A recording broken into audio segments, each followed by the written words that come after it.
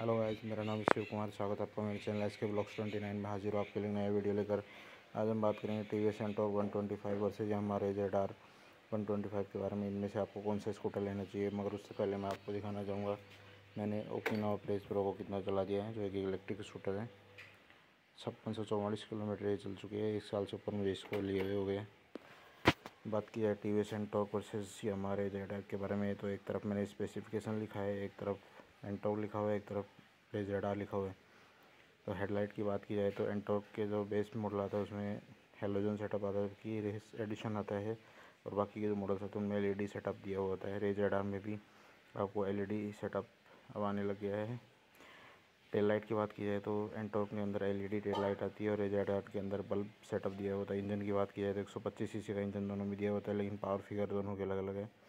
And torque nine point three P S power और ten point five N M का torque मिलता है, जबकि रेज आर के अंदर eight point two P S का पावर और ten point three N M का टॉर्क मिलता है। बूट स्पेस की बात की जाए तो बाईस लीटर का बूट स्पेस एंटॉर्क के अंदर, जबकि इक्कीस लीटर का बूट स्पेस रेज आर के अंदर मिलता है। माइलेज की बात की जाए तो एंटॉर्क के अंदर, क्योंकि स्पोर्टी स्कूटर है तो आपको माइलेज थोड़ा कम मिलता है, चालीस किलोमीटर पर लीटर का माइलेज आपको देखने को मिलता है, जबकि रेज आर के अंदर आपको सिक्सटी के एम तक का माइलेज आपको देखने को मिल जाएगा क्योंकि इसमें माइल्ड हाइब्रिड टेक्नोलॉजी का यूज़ किया जाता है।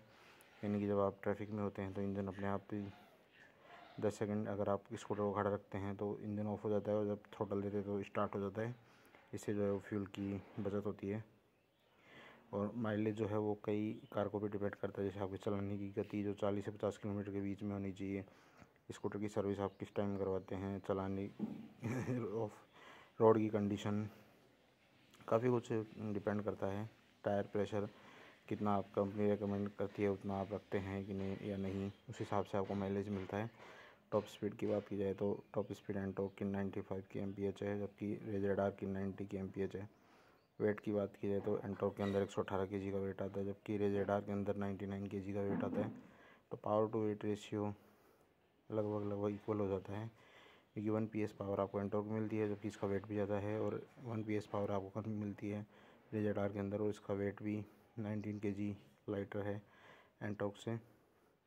फ्यूल टैंक की बात की जाए तो फाइव पॉइंट एट लीटर का फ्यूल टैंक आपको एंटॉक के अंदर मिलता है, जबकि रेजेड आर के अंदर फाइव पॉइंट वन लीटर का फ्यूल टैंक दिया होता है।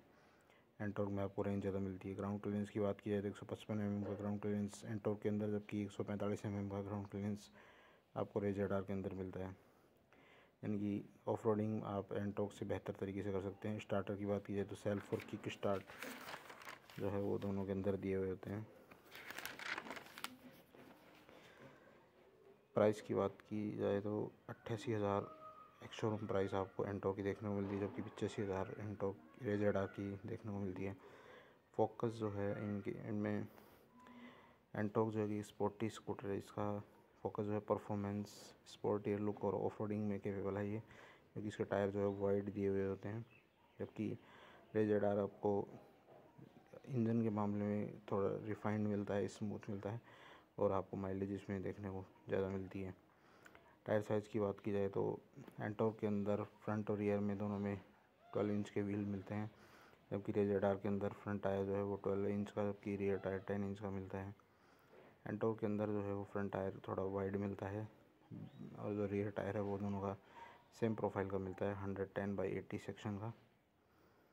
तो आप डिपेंड करता है आपको कौन सी लेनी चाहिए। अगर आपको परफॉर्मेंस ज़्यादा चाहिए ऑफ़ रोडिंग आपको करनी है और स्पोर्टी स्कूटर चाहिए माइलेज आपके लिए इतना मैटर नहीं करता है तो आपको एंटो की तरफ़ जाना चाहिए। जबकि आपको माइलेज ज़्यादा चाहिए और आपको एक रिफाइंड स्मूथ इंजन चाहिए तो आप रेजेडार की तरफ़ जा सकते हैं।